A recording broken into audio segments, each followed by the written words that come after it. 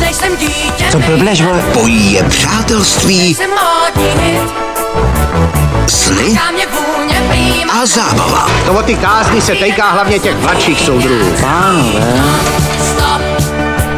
Osud je však navždy rozdělí. Přivezli ho pozdě. Jak pozdě? Sagvan Tofy Na Lukáš Vaculík Myslíte? mají Vítr v kapse. V úterý ve 20 hodin na CS Filmu.